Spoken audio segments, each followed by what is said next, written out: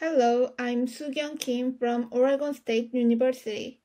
Today, I'm going to present a feasibility study of GNSS IR to evaluate stress on coastal road by monitoring the wave height.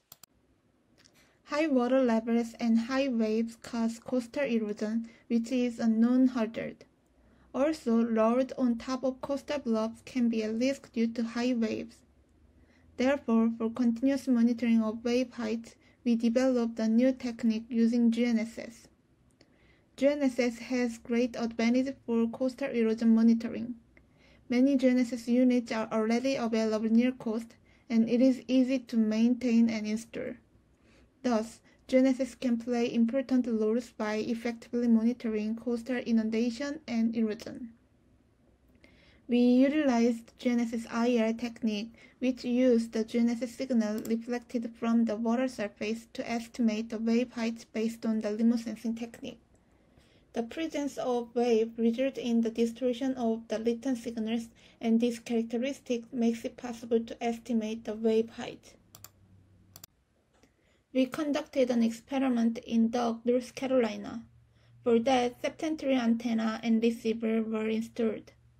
The GNSS antenna was mounted on top of the tower to secure the clear view toward the ocean surface.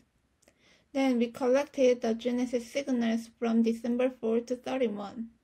Additionally, a nearby wave buoy was used to validate our wave height observed by GNSS IR.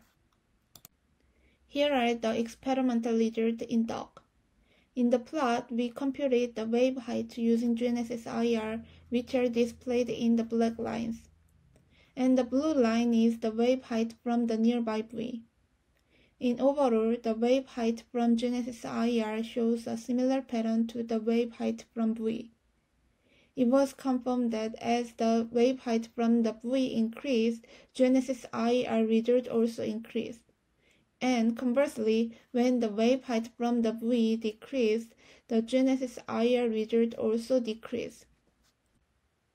For the numerical comparison between the GNSS IR and the buoy, the correlation coefficients were computed. As we expected, a high correlation coefficient 0.81 was confirmed. In particular, the correlation coefficient improved to 0.88 when the wave heights were lower than 1.5 meter. The corresponding result shows that the proposed approach is feasible to observe the wave height and it can be a promising complementary tool for monitoring the wave.